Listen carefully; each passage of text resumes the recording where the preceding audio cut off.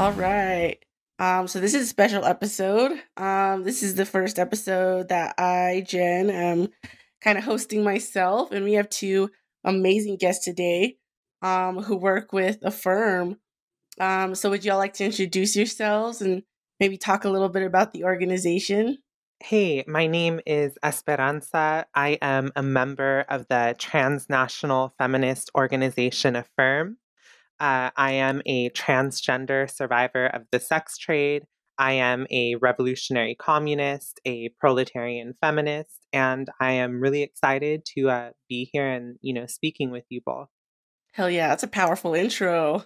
Yeah, I'm gonna sound like dishwater compared to that. so, my name is Cara Habola Corollas.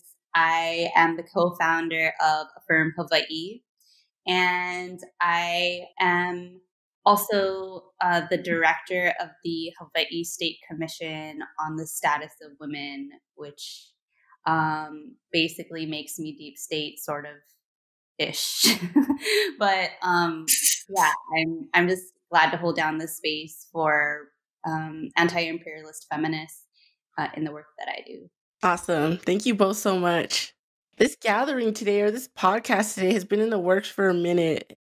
It kind of started when comrades in the Red Nation read your piece, Esperanza, talking about expansion of the sex trade and how, um, you know, these very neoliberal ideas about the sex trade are kind of like seeping into radical spaces and even being taken up as radical ideas. And so I'm I'm the co-founder of the Pueblo Feminist Caucus within the Red Nation, and we realized that um, we absolutely need to have a stance on sex work and the sex trade um, because it hadn't been discussed too much in Red Nation, and especially not in the context of revolutionary socialism, which we are. We're revolutionary socialists and we're queer indigenous feminists, and so the Pueblo Feminist Caucus found it necessary to develop this position around the sex trade, and um, it was through organizations like AF3IRM that we started to think more critically about our politics and um, devote ourselves to studying. I my question for you all is um, for people who are interested in developing revolutionary socialist politics around sex work and the sex trade, where where would y'all start? I know we've been talking about Thomas Sankara and his position too. So I just I wanted to see what see where you all suggest that people might start.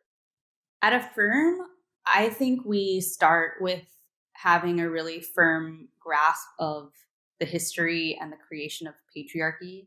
So, uh, the book of that uh, that name by Gerda Lerner is a foundational text for us um, to contextualize the work that we're doing in our analysis. So, having a really firm stand in that, I'd recommend that book initially. But Esperanza has also been making a lot of recommendations. So, yeah, absolutely. And, you know, to build on that, I think that, you know, identifying as a revolutionary socialist also means that, you know, we are scientific socialists, meaning that we take a scientific approach to struggle.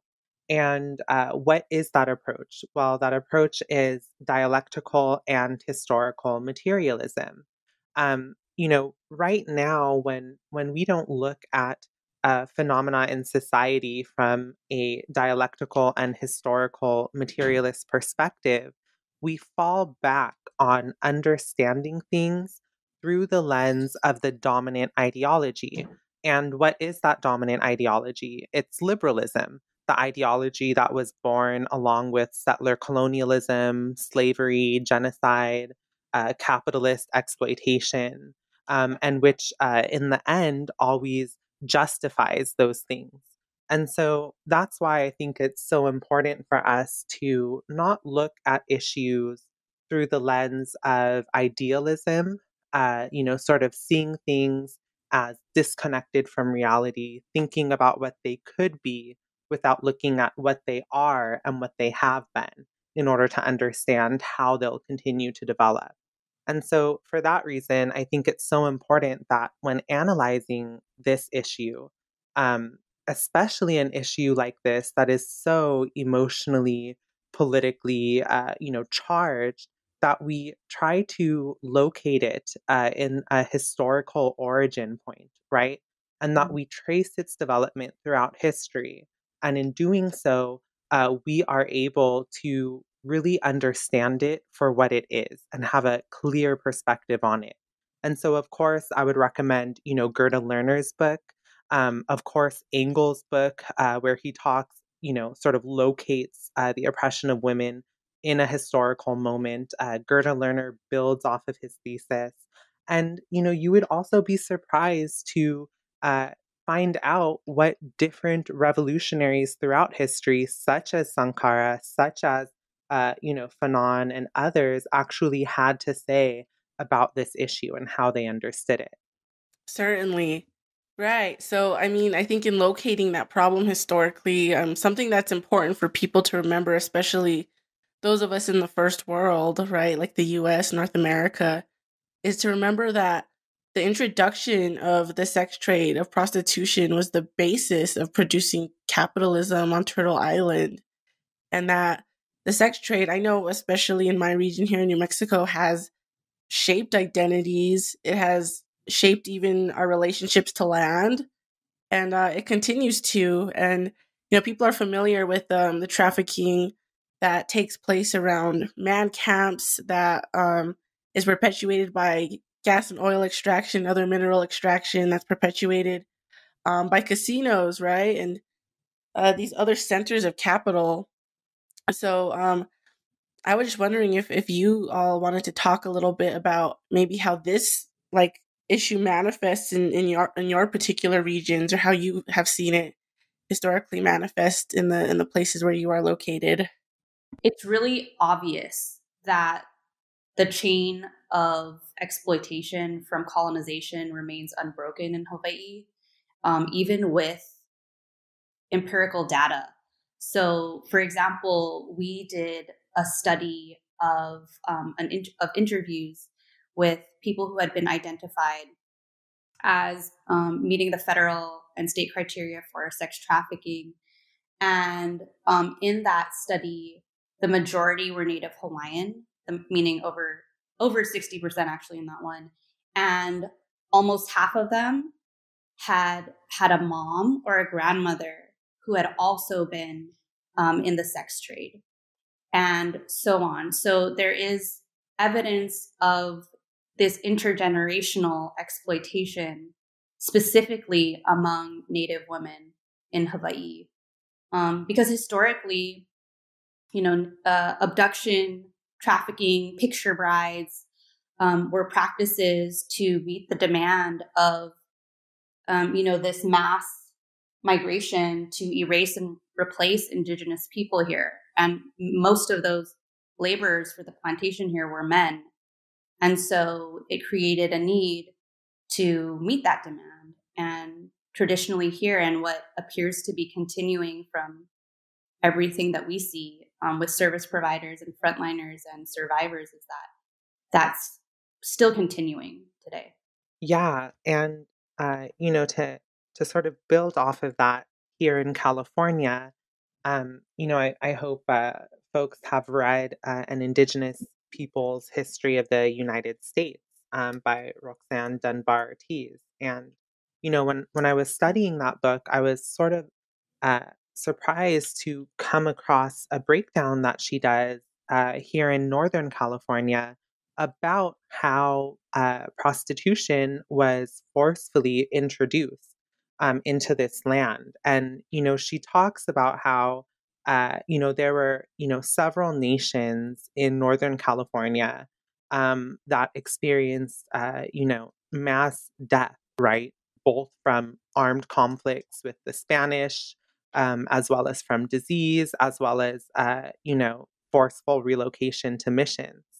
And towards the second half of the 19th century, among those same people, US armed forces killed over 4,000, uh, disease killed another 6,000. And up until 1867, um, US settlers kidnapped over 4,000 Native children from those very nations in California. And she writes that the disruption of those indigenous social structures um, along with the dire economic uh, situation that was forced upon them, ended up uh, literally forcing women into prostitution in and around goldfield camps, which uh, she cites as completely destroying uh, the vestiges of indigenous family life that remained in societies that were largely matriarchal. And so we see how uh, when prostitution, uh, you know, it's, it's sort of inextricably linked with militarism and colonization. And it destroys uh, the values of, you know, uh, sort of indigenous society um, that were lost when it was forced upon them. And, and I think it also says something about the recruitment strategy of the sex trade, which today in what we call the US is completely ignored, right? Because we see it just as an individual choice based on autonomy, like any other job.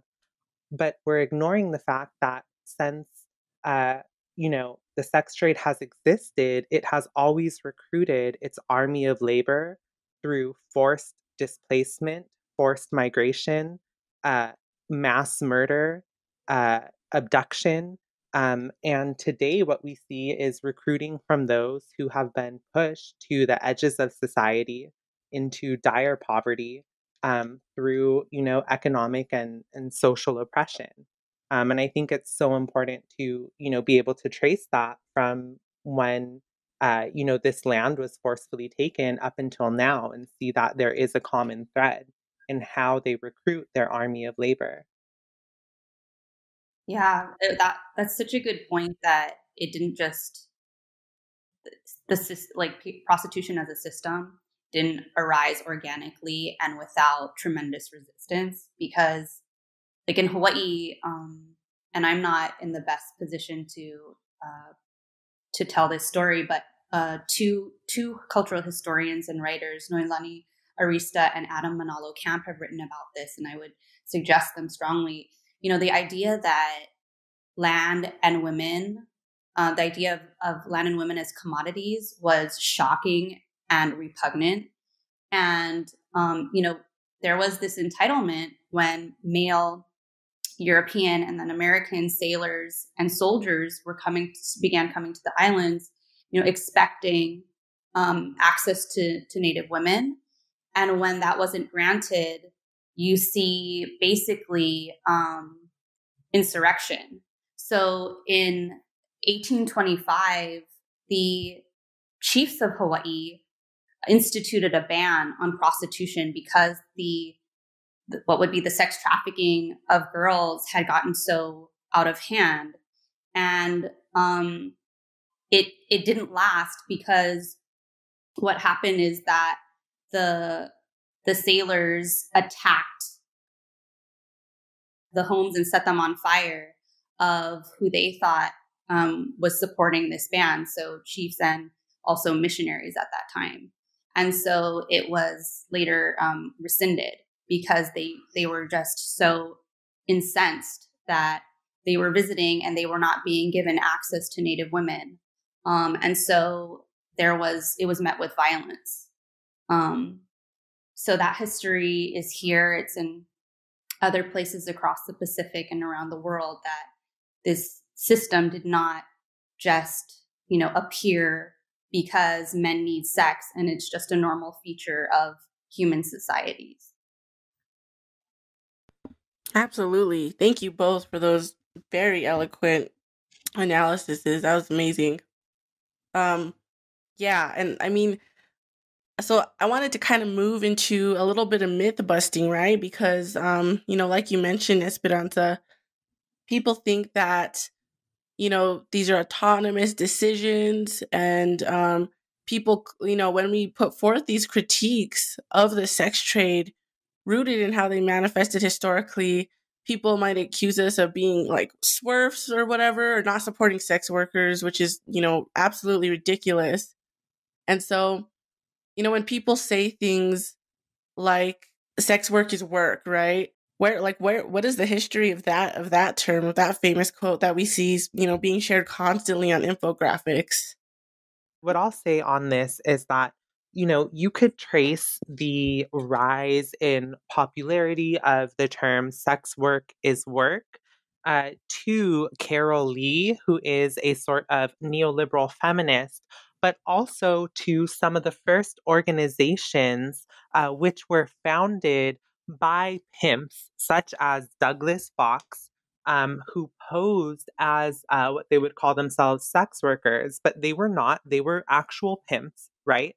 Um, and who sort of popularized this. And I think that, you know, a realization I was having today is that as somebody who organizes workers, you know, I've specifically organized restaurant workers, we're always fighting the, uh, you know, National Restaurant Association, what we call the other NRA, because as an industry association, their job is to cover up the exploitation in the industry, to justify and make excuses for it, and to protect and expand the industry.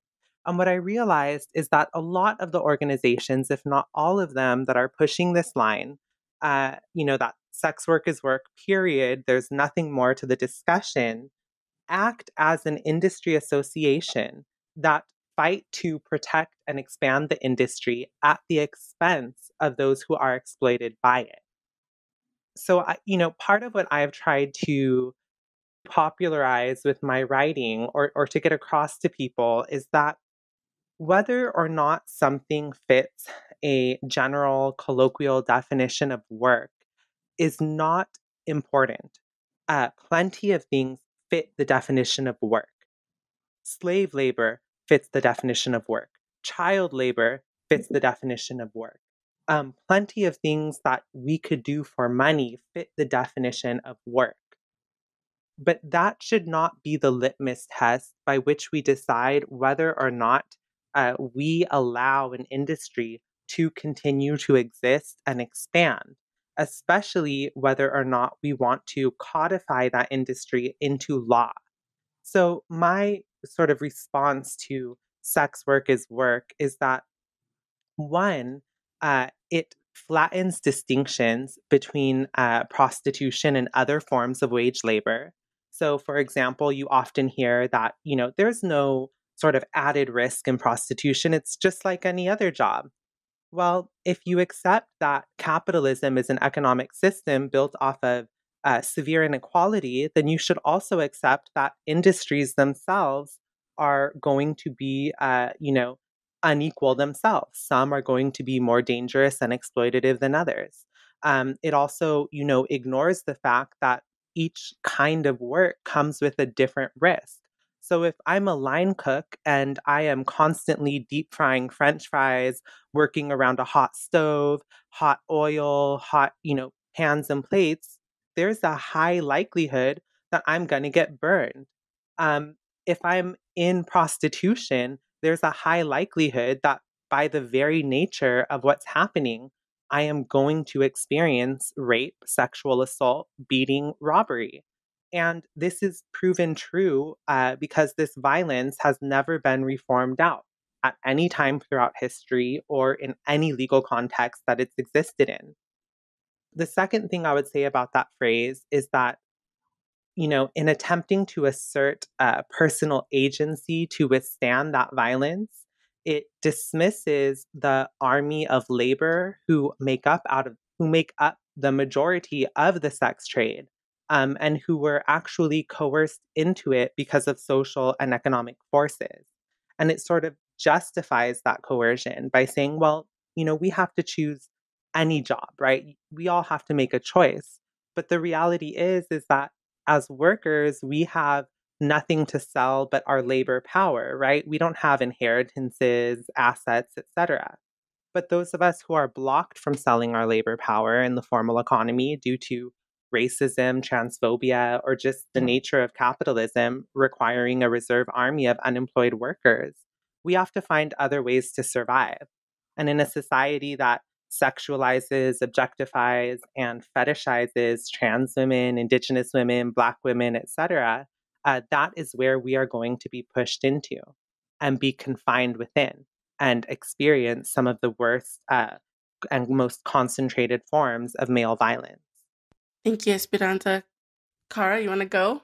Well, that was a whole lecture, an amazing lecture on the, on the topic. Right. I mean, I think you know Esperanza is totally correct in the the origin story of that term is staunchly white supremacist and it's staunchly neoliberal.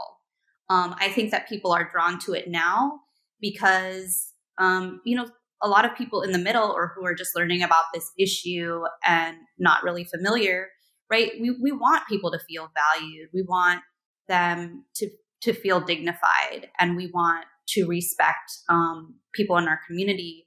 Um, but this euphemism goes so much farther than that right? We could say why don't we say military work is work right? Because that stops the whole conversation about critiquing that system.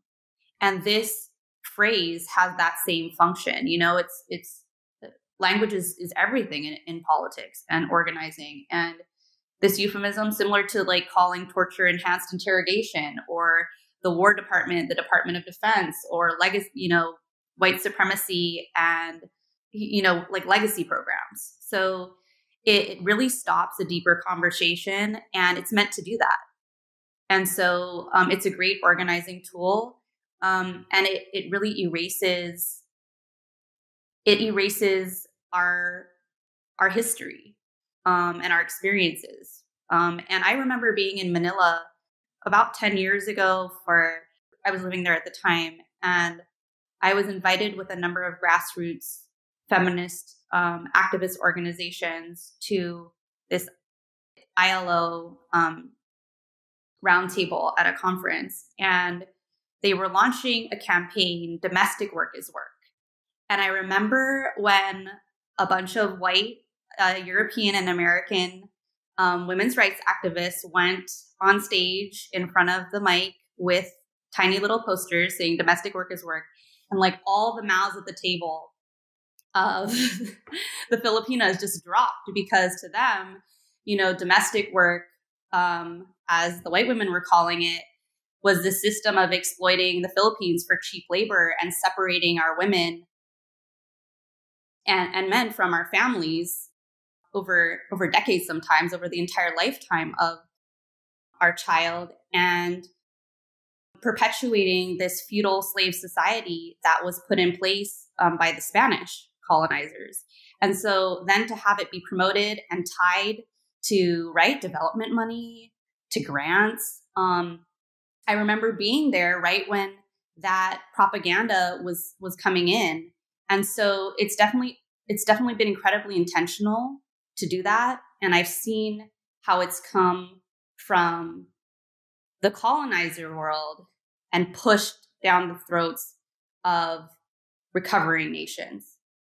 Absolutely.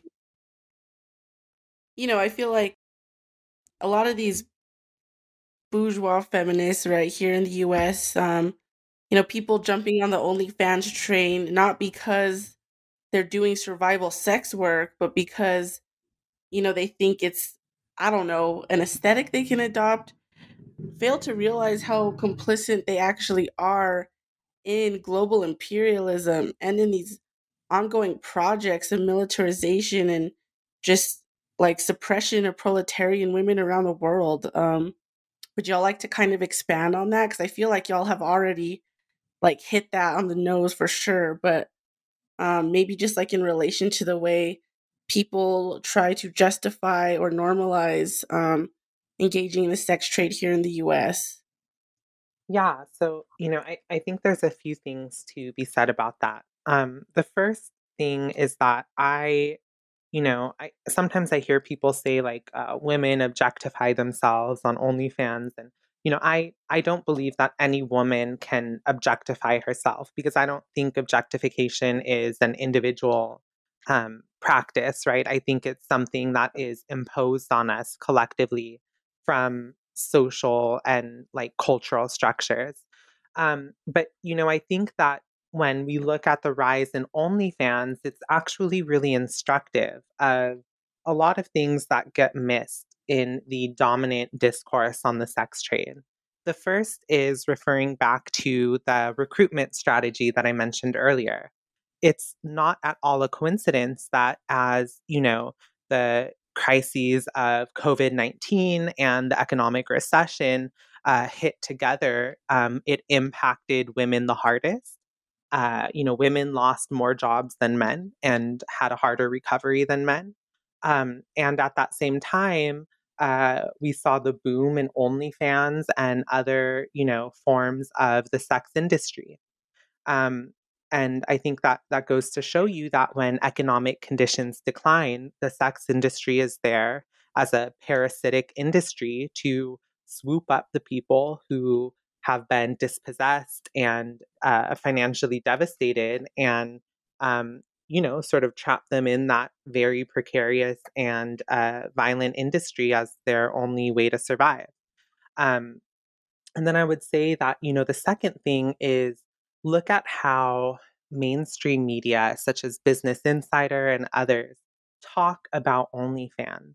Um, and and they talk about it in this sort of uh, you know, vision of meritocracy, right? Like you can uh, pull yourself up by the bootstraps and work your way out of poverty. Look at this white woman who was able to buy her house from OnlyFans, you know? And you start to see articles coming out in lesser known publications of women who are like, well, hold on, now the market is saturated and I'm not making any money from this. Or you only make money when you're new and you're the new and hot commodity. And when there's newer girls than you, then you're no longer that hot commodity and you don't make as much money.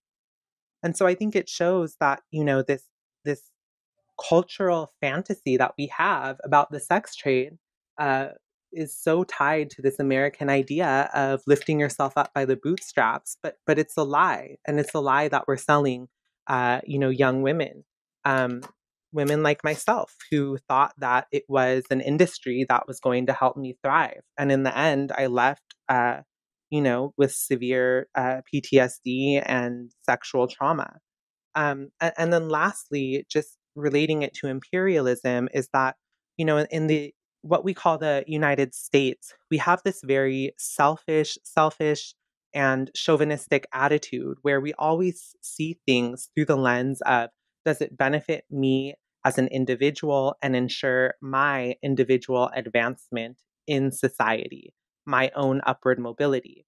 And so a lot of the analysis is so centered on me, me, me, me, but we don't look at how the sex industry operates globally. We don't look at how this is an industry which not only pulls from uh, the most oppressed groups from the most oppressed classes, such as proletarian women, trans women, etc., but also the most oppressed groups from the most oppressed classes in the most oppressed nations. And we don't look at how it impacts people outside of our own borders. And I think it's so necessary that we do that because when we look at it from an internationalist lens, then our analysis of it and our idea of what is to be done is going to shift dramatically. Absolutely. Thank you so much for that. Did you want to add, Khara? Well, I think you're you're naming it that imperialism is what is completely missing in the dominant discourse of this issue because if you look at it through that lens, you cannot say anything but conclude that this is a destructive industry that we need to transition from. Um, I mean, I I've done organizing transnationally um, among Filipinas in areas in South Korea and Japan. And I was in um, South Korea when there was a realignment and they were emptying out uh, the bases throughout metropolitan Seoul into a mega base called Camp Humphreys. And basically, the women were migrating with the soldiers. Um, and there was even one time that uh, I was in an art therapy class, and one of the women uh, was showing her pictures, and for weeks and weeks and weeks, all she was drawing was pictures of Uncle Sam or what she thought was Uncle Sam. So pictures of the American flag, um, pictures of being taken to America. Prostitution goes hand in hand with imperialism um, and American imperialism specifically right now. And it it just it, it defines it defines women from the colonies. I mean, I think that there's no sensitivity to that, and there's no sensitivity to that what that means in terms of the the way that we're uh, we're impacted on a daily basis. Like even my mother was assumed to be either a prostitute or a mail order bride because my dad was white and in the military. And I remember growing up and um, being told that by a teacher one time that you know, fun factoid, uh, Filipina in in Greek is actually slang for prostitute. So entire nations of women are seen through the lens of this this industry um, to the world.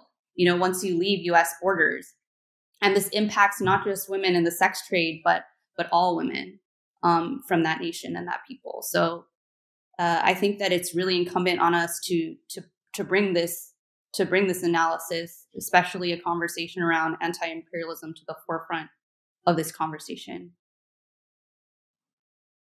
Right. Thank you so much for sharing that. Jesus Christ.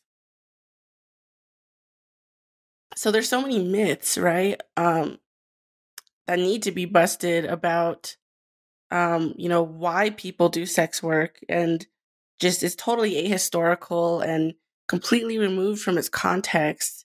And so one of the things that I've heard is that um, people go as far as um, justifying the expansion of the sex trade by saying things like, well, sex workers um, provide love and they provide, um, you know, this comfort to Johns. And people will even try to very disturbingly even frame it in the context of socialism. And um, like there was this ridiculous take going around Twitter not long ago saying, like, um, what if we like thought about sex in terms of mutual aid and sometimes had sex with people we didn't want to in the name of like distributing sex like and it, it, like there's just these these takes coming out and these like assertions that um you know johns are victims or that um you know we should we should value them to some extent but like really looking at it from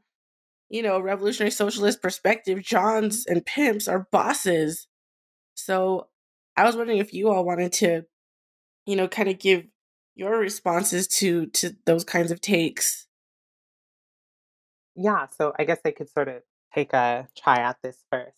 So, you know, one one of the things that I think is so characteristic of the liberal, you know, discourse around the sex trade is that it obscures uh, class relations and it obscures uh, power relations uh, within the sex trade. So basically, it attempts to paint a neutral picture between, uh, you know, what you might call the sex worker and the client. And I just to put it out there, I prefer the term prostitute. I myself was a prostitute. When you say sex worker, you could refer to anyone from a dominatrix in a legal dungeon that doesn't have sex, to a cam girl, to a stripper, to a sugar baby, to a prostitute. So I uh, prefer the word prostitute. It, it's not about stigmatizing anyone or making a value judgment. It's just for the sake of, you know, accuracy. Um, but but what I found is that, uh, you know, when when you look at capitalism, you you understand it as, uh, you know, relations, a set of relations of power, right? Um, and capitalism obscures these social relations, right? Uh, Marx talks about that in Capital, right? So when when we look at the sex trade, uh, the client always wants uh, to get more from the prostitute for less, whereas the prostitute always wants to do less for more money. The client needs the uh, you know, the prostitute needs the money more than the client needs the sex, right? I experienced this myself. And so this is a uh, power struggle that is, you know, playing out every session. Um, even, you know, one of the the women who disagreed with my piece, she she said this is the one piece that she agrees with is that it is a power struggle. Now the issue is that when this power struggle plays itself out over your body and inside of your body during sex, uh, a violation of your boundaries and sexual violence is bound to happen. And, and that's what makes this so dangerous. Um, and so I, I really think that part of what we need to do is go back to a class analysis, is to stop painting everything as a neutral encounter and understand the power relations that are inherent to this. That's that's so that's that's the core of how we need to be thinking about policy because I think it's really easy to fall victim to, you know, this pull to be compassionate, right? Um, and reduce harm. And the only way to do that is to decriminalize, unionize, and regulate um, the sex trade. Um, and then we'll automatically give more power um, and equal footing to um, people in prostitution. When if you have that power analysis that Esperanza is talking about, you know that that will not flip the power dynamic. You will give a little bit of power, um, for example, to um, to approach and utilize the carceral system, for example, um, if you feel safe enough to do that. But you also give total state sanctioning and total protection to the boss, to the buyer, um, in that situation. So um, that's why uh, one really good example of that is in Western Australia, even though they've adopted a policy model that is being advocated by um, the sex trade expansionist lobby here, is that um, sex has not gotten safer. There is a very low condom use. Um, they've done a number of studies on this. I think they're the only studies I've seen um, that are peer reviewed on this because, right? Like the boss, the buyer, uh, you, you still need money and you can still be pressured. Yeah, and therefore it is still incredibly dangerous um, and unsafe. And so some of the things that purportedly um, fully institutionalizing or what they're casting as fully decriminalizing the sex trade will do just don't play out um, based on the the power differential between um, people in prostitution and the boss or the buyer, let alone traffickers and pimps. Absolutely. And one thing I just want to tag on towards the end of this this uh, question is that you know the idea that men require sex uh, and that they require sex so much that it becomes socially necessary to recruit an army of labor from the most oppressed classes of women from the most oppressed nations to service them. That is a fundamentally patriarchal idea. Um, and, and some people might say, well, is this just, you know, moralizing about sex? No, it's not, right? Uh, sex is something that, you know, I have no problem. Uh, do it however many times you want with however many, you know, people you want. But the issue is, is that in our society today, uh, the liberal left does not understand uh, that there are two forces which are currently entrapping and holding our sexualities and bodies hostage. One force that they understand is the state, but one force that they don't understand, and I might pin this to a sort of anarchist liberal tendency, um, is that capitalist market forces uh, also are entrapping our bodies and sexualities. And so, if you only free our bodies from the state, uh, but you put it fully into the hands of the capitalist market, um, then you're not liberating anything. And so that's why I really try to go back to this idea that for true sexual liberation to be possible, we have to liberate our bodies and our sexualities from both the state and the market. Dang, yep, that's where it is. That is where it is. Jeez. Y'all are just so articulate in all of this and i'm just i'm just sitting here as a student learning and taking this in thank you so much so i guess kind of continuing on the question of policy people obviously seem to you know claim to be interested in protection for sex workers right sex workers encompassing the, this very broad spectrum from dominatrixes to strippers to prostituted people yet they often can only cite decriminalization as a means of doing that via policy, which y'all just mentioned also would let these Johns and pimps off the hook. And as we see it and play out in places where it is decriminalized, like in Nordic countries, right, Germany, um, even Australia, you know, decriminalization under capitalism just results in just a horrific system. And, we know that people have spoken out um, from places where it exists there.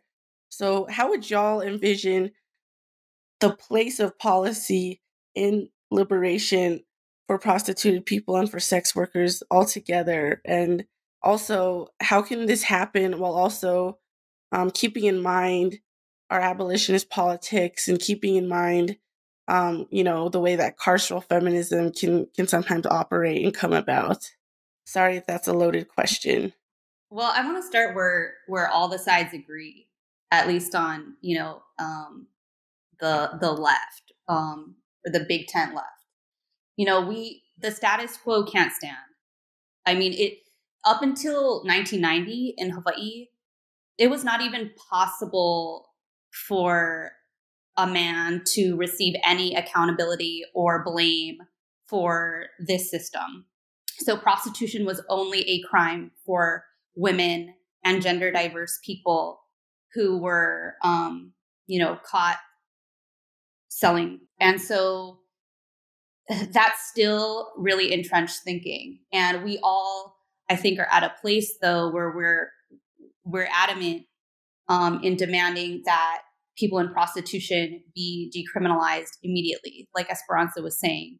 And so that is is where we're, we are in terms of shared space. Um, but after that, it gets ideological, and then some folks think it's just practical, right? That the model that will reduce the most harm for the most people is what we should pursue, and that model is basically deregulation um, or very light regulation, um, and letting the the industry and people in it fight for their rights and it will resolve itself. And then the folks who are saying like us saying wait no this is not how it actually plays out um, and this is not the culture that we want to continue basically say that you know well you're just the nordic model. And saying that abolition of the sex industry is the nordic model is like saying stewardship of the environment is the sierra club it's ahistorical and it's racist erasure of indigenous people and indigenous value systems. So, um, one, I do think we need to talk about it outside the frame of the Nordic model because that's just being used as a tool um, to dismiss us um, when it comes to the policy. But I'll pause and hand it over to Esperanza for a second. yeah, 100% to everything that you just said. You know, I think that as revolutionary socialists, right, we can all agree that uh, there is one class of people that is maintaining this violent, exploitative uh, system, and that is, you know, the ruling capitalist class, right, and their, you know, capitalist state uh, here in, you know, so-called U.S., the settler state, right.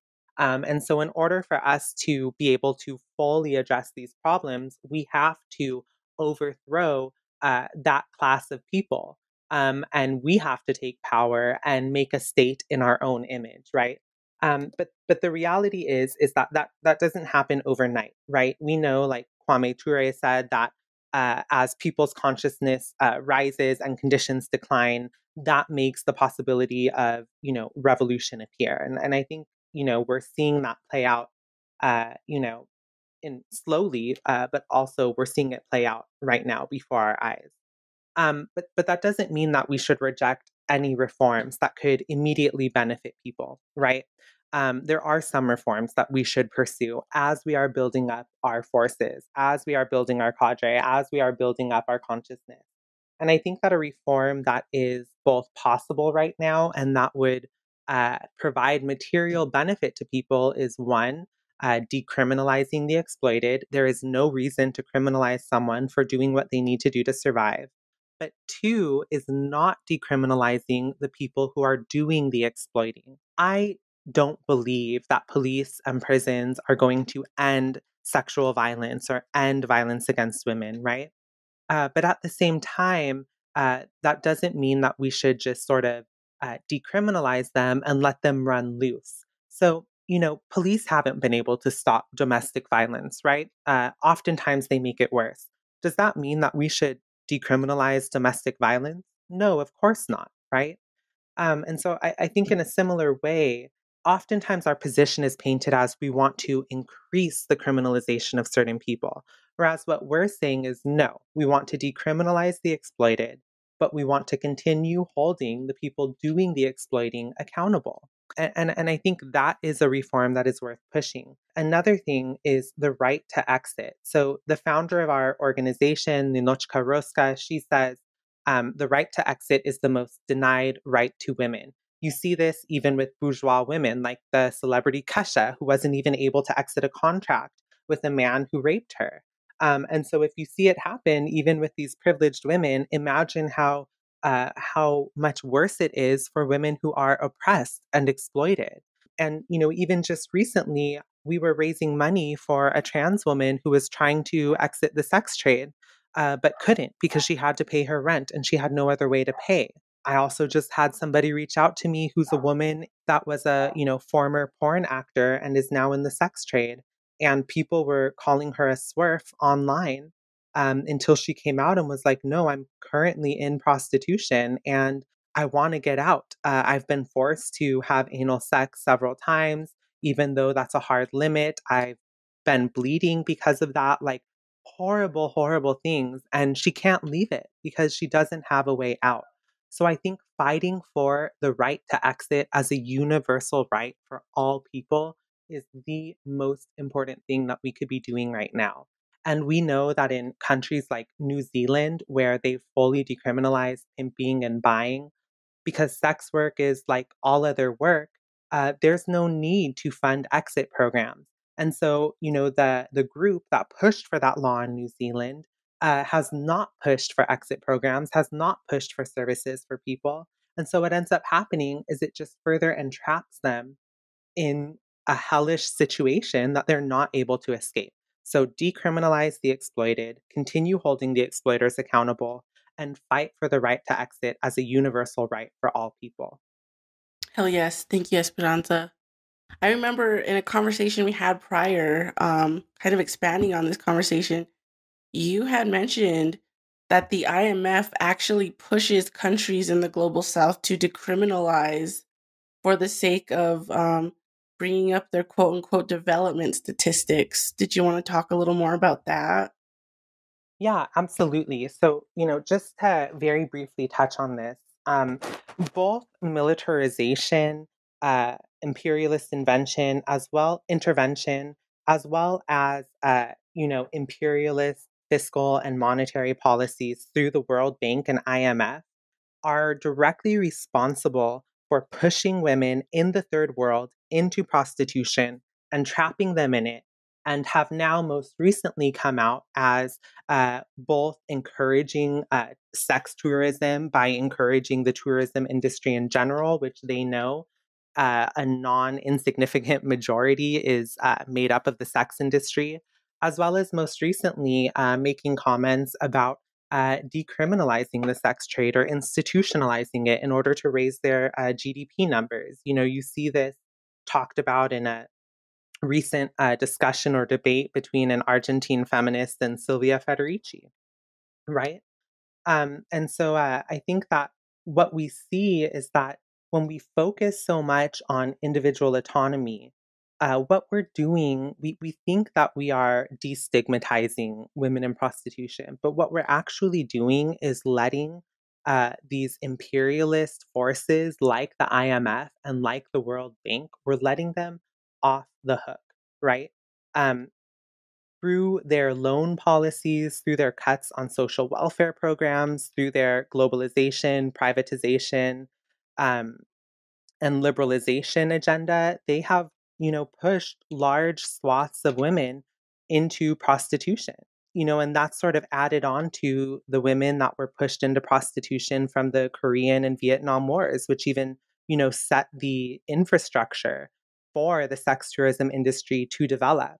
Um, and so, once again, that's why I think, you know, we as socialists, as revolutionaries, we cannot just look at this issue through an individualist lens, but we have to look at how imperialism and imperialist actors, such as the IMF and the World Bank, have actually pushed women into this, have entrapped them in it, and are now trying to encourage them to maintain the industry uh, you know, in, in order to achieve growth, which we know is also not going to happen because that's not how imperialism works. Thank you so much. Um, did you want to add anything to that, Khara? You know, it's worth talking more and unpacking the policy stuff because, you know, there's so many criticisms, right, of of of abolition and and the push to transition out of this destructive industry. And a lot of the time, right, people point to imperfect implementation of these laws or the fact that, you know, patriarchy still exists. And it's similar to like pointing to the staggering so called wealth gap between black and white communities and saying, well, you never should have abolished slavery because, you know, there's all these problems still and nobody's, um, you know, it's not going well. Um, right? We're dealing with a millennia old system. And we're trying to also decolonize our homelands. And so, you know, while stuck um, in occupation. And so, how do we, you know, it's unpalatable for many people, you know, to, to even think about harm reduction and engaging the state at all. But like Esperanza was saying, we cannot sanction. There's just certain behavior that would never be accepted in any community under any system. And one of them should be exploiting another person's vulnerability to access their body, period. Um, we need to start seeing that and defining that as exploitation.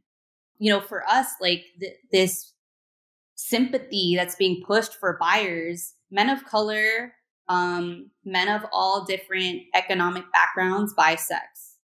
But what we know in areas like Minnesota, for example, which has the largest outside of LA urban um, Indian population, that the majority of sex buyers are white middle class men. And we know that they have money because 75% of the white men who are arrested hire private attorneys. That's one little factoid that just goes to show that we're talking about people with power who are racist and who are sexist and who use this as a playground to you know harm people and play those play out their ideologies onto women and vulnerable people's bodies and we cannot sanction that and so there's a lot of new models that are being proposed to to try to move away from you know policing and you know interaction with police um, and and prison first of all, if you're a sex buyer, you don't go to prison. You, you know, maybe, maybe jail, but that almost never happens. And one of the things that's being proposed, I think in Seattle has a really good program that is basically about teaching men empathy. And it's over, it's like a year long program um, because it takes at least 25 weeks for the men to just even open up and start being held accountable within their group. And it's led by people who share a similar analysis to us. Um, and it's not going to cure people. It's not going to cure like deeply misogynistic behavior necessarily, but it is a push in the direction towards um, new models. So there, there is work out there, and there are many of us who are absolutely opposed to um, strengthening the carceral approach to this, but we also cannot allow um, to move away from a culture of accountability. Right. I wanted to talk a little more about that. Um, I think when, you know, people, especially those who find themselves engaged in the sex trade themselves, whether they're whether it's full service or OnlyFans or camming, um, you know, a lot of times people will say, This is my only choice, right? And um, how can I think about abolishing something that my livelihood is dependent on? And uh, again, in the prior conversation, Esperanza pushed that question and said, Well, we need to ask ourselves why it's our only option, right? And so I think this question of this is how I make my livelihood and it's my only choice um, prevents us from envisioning a world where the sex trade is abolished. So, what are some of y'all's visions moving forward? Um, how can we envision a world where all prostituted people and all sex workers are truly liberated? And um, how can we envision a world without the sex trade? You want to take this one first, Khara? sure.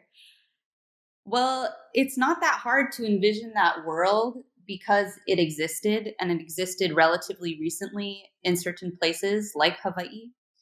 And so, as um, you know, pushing back against this hopelessness of the sex trade expansionist movement is really important because it is a very hopeless movement. It's a movement that just accepts patriarchy and colonization and extreme class hierarchies and and and claims that right that this is harm reduction for the most privileged is more important than harm elimination for the vast majority of people and so we have to be um, just constantly in touch and strengthening our own culture and our own values and then again just looking to our proud history that's how i think about that question.